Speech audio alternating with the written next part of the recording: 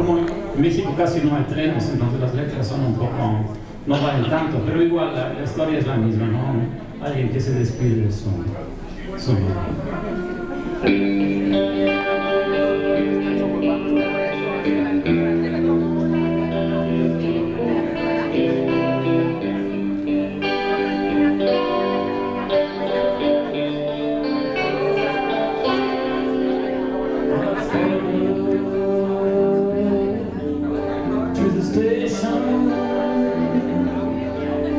with a suitcase